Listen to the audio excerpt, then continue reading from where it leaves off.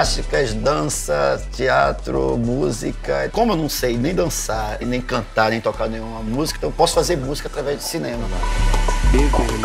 O filme é virtual, tudo é virtual. Até a foto só, só passa a adquirir uma existência a partir do momento dessa articulação. Talvez eu quero entender o cinema como matéria. Como é que se materializa o cinema? O cinema é uma ilusão. Quando o projetor desliga, acaba aquela ilusão.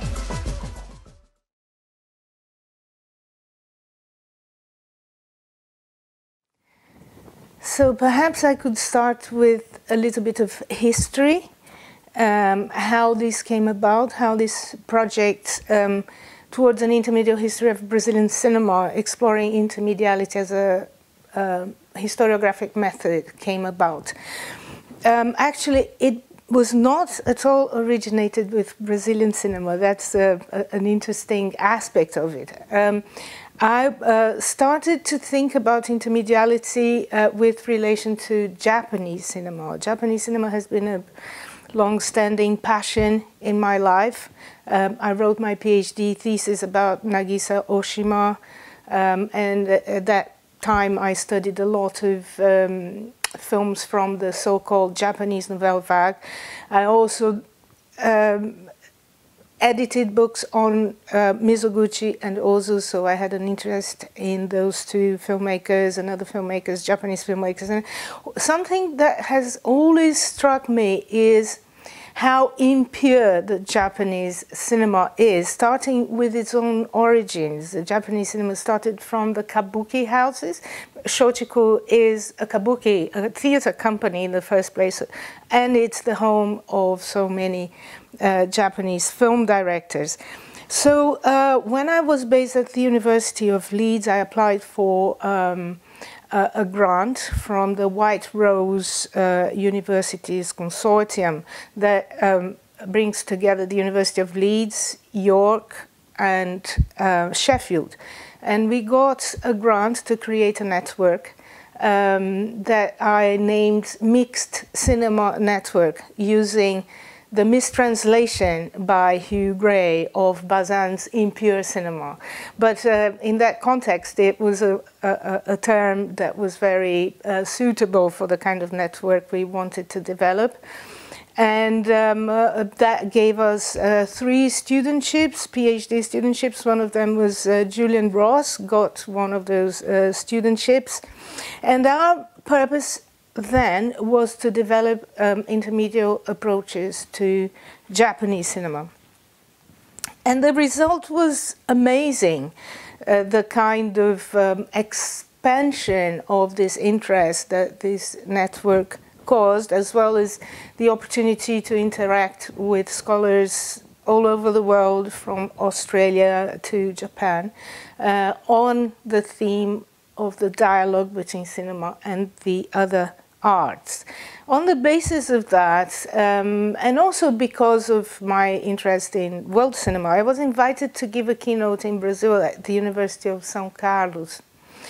Um, and there I met a number of, um, of fantastic scholars who had been either my previous students or younger colleagues um, who were all in one way or another, working on the subject of intermediality. Um, very often, we don't call the, this dialogue between cinema and the other arts and media intermediality, um, but it was clear that that term connected all of us, and um, so sitting with them in an interval of the conference, we simply were amazed at um, the coincidence of our interest. Uh, but all of them were doing that kind of approach uh, towards Brazilian cinema um, in different uh, periods of Brazilian film history. Uh, so I said, well, I'll just jump into that. I am Brazilian as well. I've been living in the UK for a very long time. It's time I go back to my research on Brazilian cinema, something that had been a very strong interest in the past as well. So um, we then over the years, because that was back in 2011, and we took a few years to put a, a big grant application together. Uh, and we took um, advantage of an MOU between the AHRC in the UK and FAPESP in Brazil uh, to support research focusing on the same theme to uh, avoid what they call uh, double jeopardy.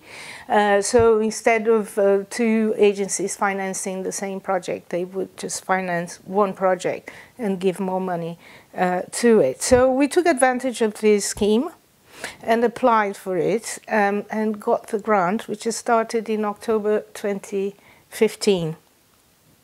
And it was an amazing project um, that uh, that brought results that were um, expected and unexpected. Uh, so the, the way that we uh, organized the project was um, across periods of Brazilian cinema from the silent period to today.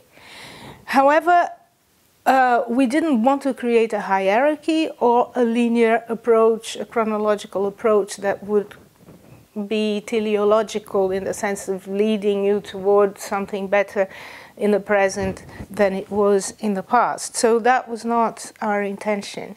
Our intention was to put several periods of Brazilian film history side by side and compare them. Um, and in so doing, avoid the uh, evolutionist approach that considers that the modern is always um, a further step to what is called the classical. So we didn't want that division classical modern. Uh, we also wanted to avoid the uh, commercial versus art cinema approach. Um, uh, we wanted to give room, make room for all kinds of cinema, from experimental cinema to commercial cinema, and um, and establish the ways that they had established a dialogue across one another. So uh, that proved to be incredibly productive.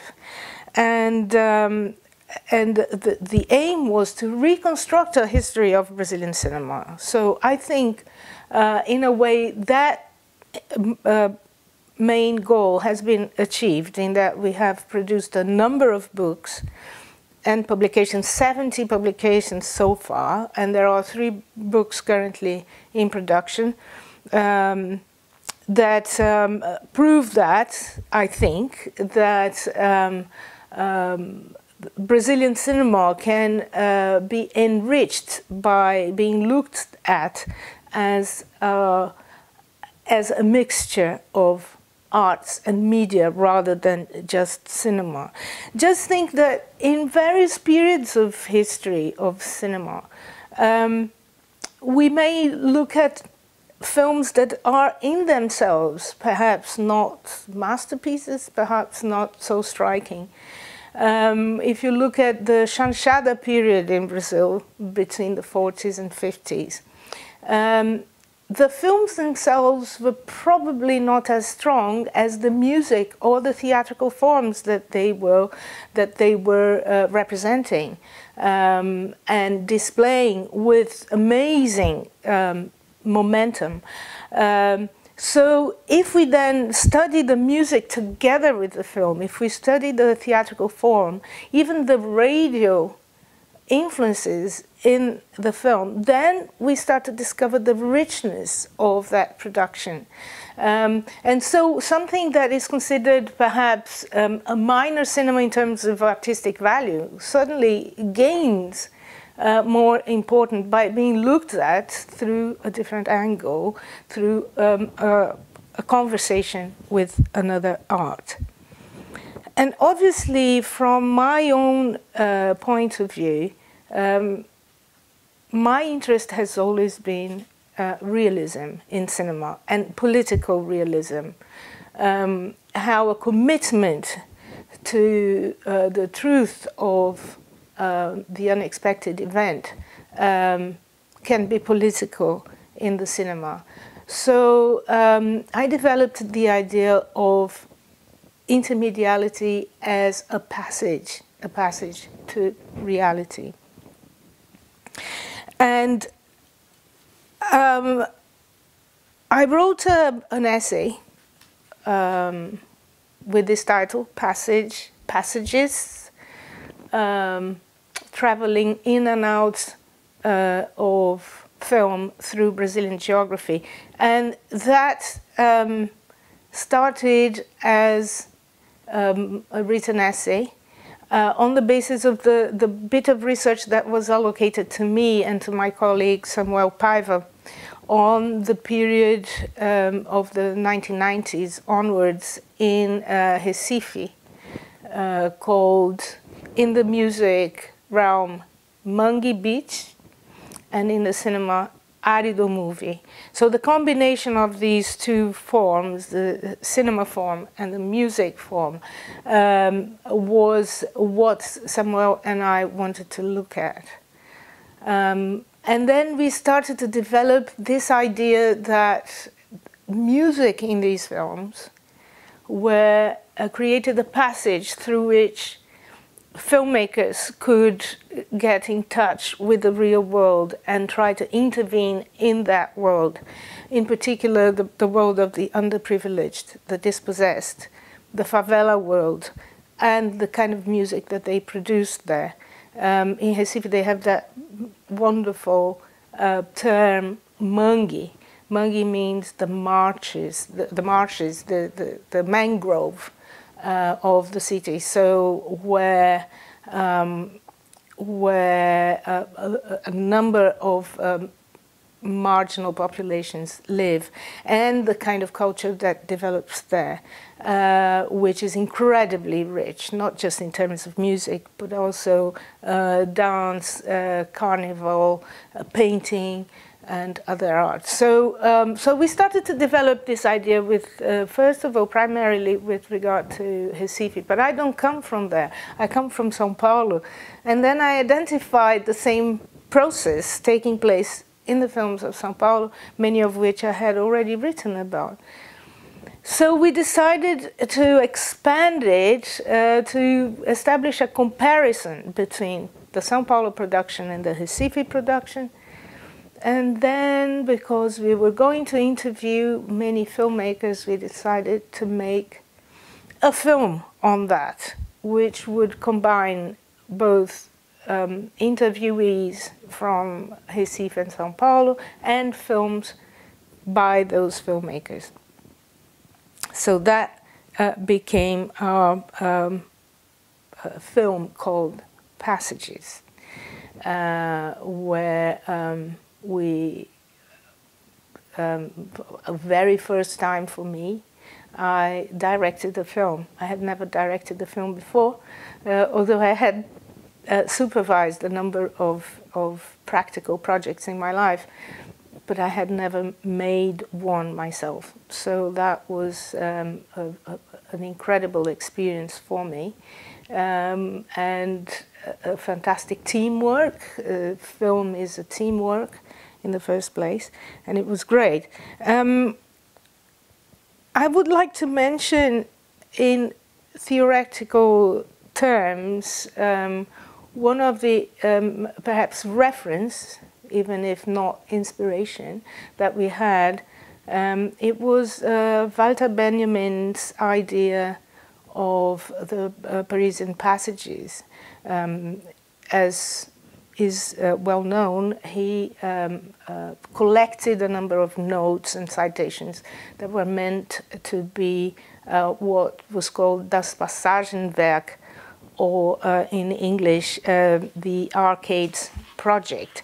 Uh, so this um, monumental work, he collected thousands of notes and citations that were organized in convolutes um, uh, so uh, uh, groups of notes that were left behind in the um, National Library in Paris. Um, and then he died, he committed suicide in the Second World War.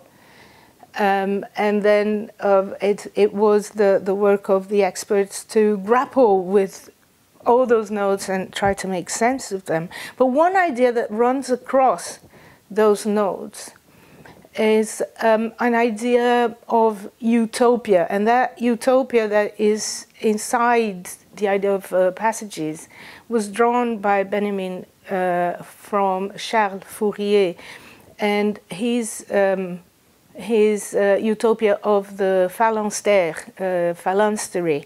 The phalanstery is um, a, a city made of passages, made of those galleries that connect different parts. So instead of being just a vehicle, a place that you pass by, the passages in the phalanstery becomes a destination, a place of residence. And for, for Benjamin, uh, that contained also the utopia of a classless society, a society where um, everything uh, communicates and conflates. Um, also because for Benjamin, uh, the, the galleries of Paris, the, the arcades with their shops selling bric-a-brac of all times and places, uh, they, for him, uh, conflated past and present. Those bric-a-brac were from any times, and they brought the memory of the past within the present.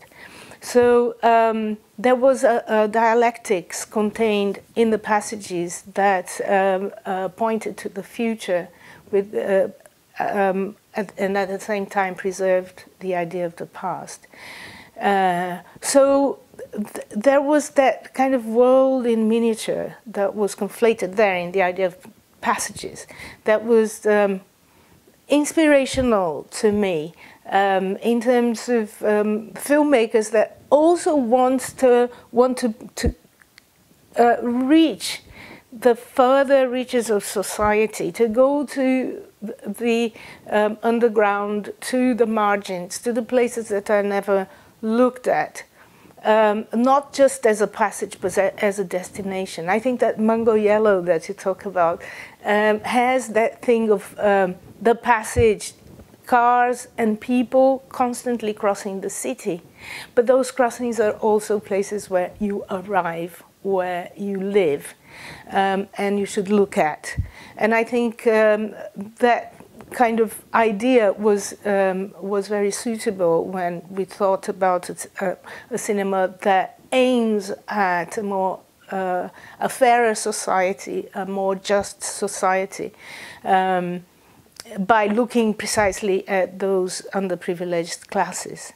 Um, I think our, our film demonstrates it through um, many different art forms, through painting, um, in the kind, the, the, the, the, example, the main example of painting that we put there by Beto Brant and the film Delicate Crime, there is a, a, an attempt at breaking the hierarchy between the painter and the model. Both are naked, both are together doing that painting. There isn't, um, both are vulnerable. There isn't a, um, any kind of uh, command, superior command, and the, the subject that obeys. Both are agents. Um, there isn't the uh, objectification of the woman, like Laura Mulvey says in her Visual Pleasure article.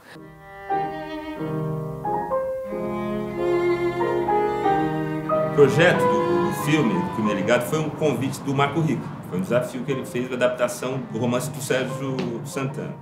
Eu acho que por circunstância, por acaso que a vida te oferece, naquele momento eu conheço o Felipe Ehrenberg. Eu elegi ele como personagem do filme. Segundo ele, na história da pintura, o pintor sempre esteve numa condição de segurança, vestido, comandando ensaio. Havia uma relação de poder ali. Então ele, para poder inovar alguma coisa, ele tinha que se colocar tão vulnerável quanto modelo anular a relação de poder. Essa era a tese dele. So, um, in theater, the same thing happens theater is staged in order to not just represent, but also present the crimes that were committed in the time of the dictatorship in Brazil. And um, unfortunately, it turned out to be very topical today because there are people who want to bring the dictatorship back uh, to Brazil, who are trying to excuse the crimes, um, the tortures, and the, the, killings that were committed in that time. Um, so the theater that, for example, Tata Amaral stages in her film uh, Trago Comigo, bring, bring It Inside, um, she puts side by side the theatrical representation of that crime um, and the testimonies of the, the victims, of the, the survivors, those who managed to survive the tortures uh, of the dictatorship. So um, the, the theater there allows her to go back to the reality of those crimes. Os artistas são sempre né, muito antenados com a, com, com a necessidade da democracia, da liberdade de expressão, da liberdade de criação, enfim, da inclusão. Existia uma ditadura, não tinha liberdade de expressão, matavam gente, prendiam. E esse era um grupo que estava querendo fazer uma revolução. Para eles, que era um jovem elenco, também tinha isso, né? Tá no, no TBC, naquele teatro, né, que é tão importante para a história da dramaturgia, do teatro, do espetáculo paulista, paulistano, brasileiro, era muito importante, tão importante quanto eles estarem sendo dirigidos pelo Richelli, que é um ator já super experiente. Vamos falar, seu desgraçado! Você acha que eu tenho tempo para ficar perdendo com o pé rapado que nem você? Onde é que é o ponto? Quando que é teu próximo ponto? Telmo, tá doendo de verdade. Vamos parar? Eu, eu não tô sentindo a perna, a mão tá formigando. Usa isso, Miguel. Usa pro personagem. Ai, cacete! Um, so that's uh, the, the kind of conclusion that we drew is that um, as well as allowing us to reconstruct the history of um, a, a national cinema, intermediality also allows us to see um, reality uh, more clearly. My organ original organization of passages was in chapters. And for those who've seen the short film that we produced, or even the, uh, we, we made a, a, a, promotional video of passages of just six minutes, in which that idea was still there chapters. So the chapters would be theater, painting, photography, um, radio, etc. Uh, and that was my idea. So making a film um, is different from writing a book or writing an essay. And that's something that my editor convinced me. She said, no, the film itself has to uh, indicate, has to tell, you don't need to tell that you are changing the subject. You create transitions that the film itself can um, communicate uh, without you needing to break the film into different pieces. And, and she was absolutely right. She is um, uh, Tatiana Germano, who did the, the editing with us. She um, is a genius of transitions. And um, so working with her taught me that uh, very important lesson of the um, fluidity of cinema, the question of images and sounds in movement, the question of the timing of cinema was very important for me um, to learn as a new form, how an essay, a written essay, translates into a cinematic essay by creating visual and oral transitions that are not possible in a written essay. So we can have the music that lingers while uh, um, another image uh, comes on, or a voice that starts before another image uh, comes on. So all those transitions um, gained um, meaning by um, being worked on uh, by somebody who is a specialist in that. And I was very lucky to have somebody who really embraced the project and thought understood the principles of the project because we had several axes there. We had first the axis of intermediality, the use of other art forms in film.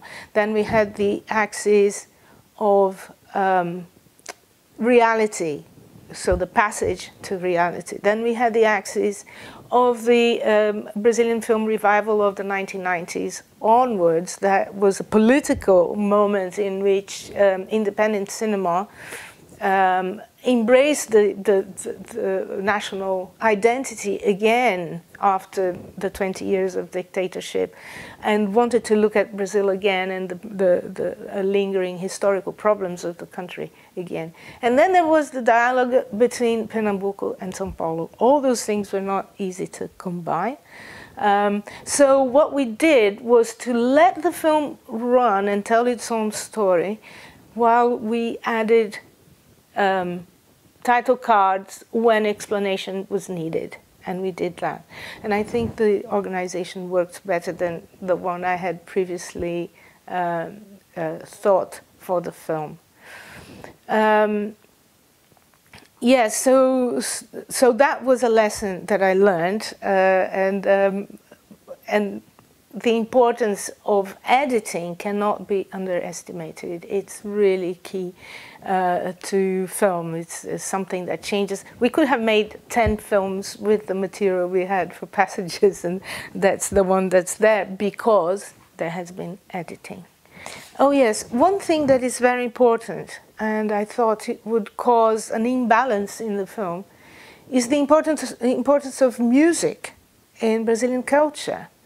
Um, other cultures perhaps uh, won't have that kind of um, impact of a musical tradition. Perhaps Brazil and the United States are unique in that kind of uh, um, cultural profile because of the um, the African population uh, that was taken to those two countries uh, and contributed that amazing um, musical uh, wealth to both countries.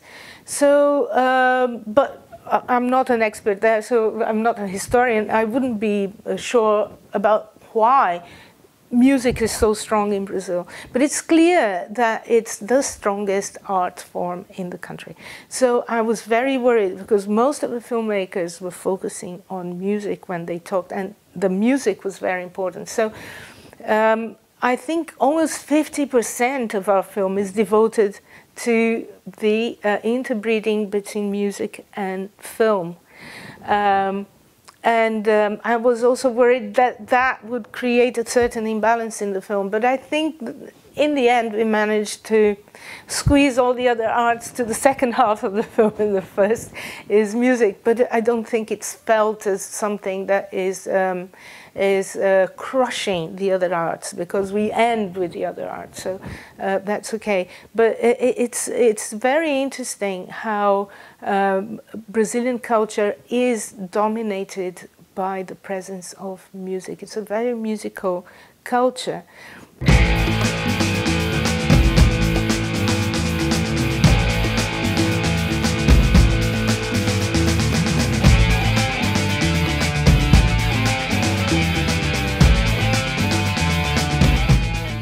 Eu ganhei uma bolsa do Conselho Britânico para estudar cinema na Inglaterra e eu vivi um exílio cultural. Né? Quando eu voltei para cá, eu acho que aquele distanciamento brechtiano me fez ver coisas da minha cultura que eu não conseguia ver quando estava muito próximo. Eu estava no meio do desfile do Maracatu, que eu já tinha visto, que fazia parte da minha infância, da minha adolescência. Mas quando eu olhei aquilo, eu olhei com outros olhos. Fui no Alto José do Pinho, que é um bairro aqui da periferia, falar com alguns mestres de maracatu. E quando eu estou lá, eu descobri que nesse alto também existiam várias bandas de rock. E decidi fazer um, um filme sobre esse confronto de gerações. Uma geração que está ligada diretamente aos rituais de Umbanda, de maracatu, e uma geração que está ligada diretamente a The Smith, a The Cure e ao Sex Pistols. Maracatu também é guerra! Ah! Rimar aqui, Maracatu, chega de exploração, rapaz. Vem gente do exterior aqui, roubar minha paciência aqui, filma meu maracatu, leva lá pro exterior, venda a filmagem e assim o maracatu não traz nada para sobreviver. Artista popular vai morrendo de esmola. Voltando àquela, àquela minha chegada ao Brasil, eu também me dei, me, me dei conta de como a nossa cultura é musical, né? A música é realmente a grande expressão cultural do Brasil, né? I would like to perhaps to say that my work is not my work, is teamwork. I'm so dependent on the so many people who have worked with me in the past and in the present, um, starting with my friend Samuel Paiva, who is the co-director of Passages and who has a, an incredible knowledge of um, Pernambucan cinema and music and cinema in general, and he's the most generous person I know. There, there are all the people um, on the intermediate project uh, who have worked in different uh, periods of Brazilian history. There are my, my colleagues at Reading.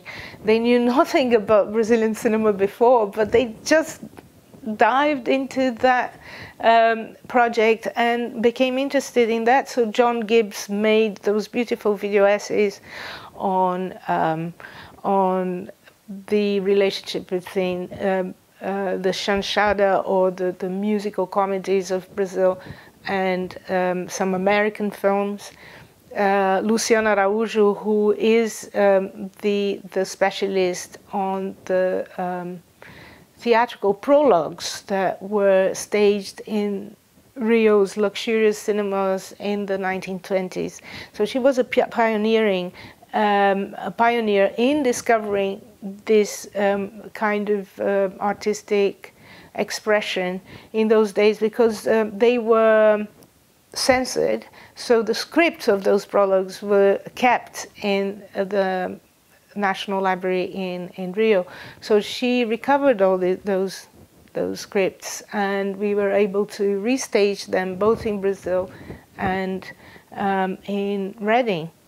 Um, Albert Elduque, who made a 10 week show of uh, Brazilian music films um, with a focus on documentaries and the period after the 1990s um, Alison Butler, Stefan Solomon, uh, who did that wonderful Tropicalia season, Tropicalia film season at the Tate Modern. Um, Alison Butler, who wrote about that. Um, Lisa Purse, who wrote about the um, uh, music films that Albert were, was working on. Um, and so many other people, Susanna, uh, Susanna Flávia Cesarino Costa. I mean, I, I, have so many people that I owe uh, in my research and those projects um, that I'm deeply indebted to because they were so helpful, so inspirational, and without them, I wouldn't have made any of that.